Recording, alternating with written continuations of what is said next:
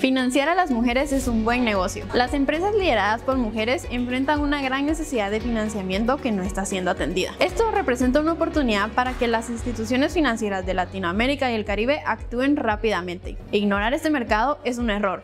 En cinco años, las mujeres controlarán el 75% del gasto discrecional a nivel mundial. En la región, son dueñas de casi una cuarta parte de emprendimientos y MIPIMES, pero enfrentan una brecha crediticia de 86 millones de dólares, una de las más altas del mundo. El estudio Mujeres Empresarias en Ascenso revela que ellas pagan sus préstamos más rápido que los hombres.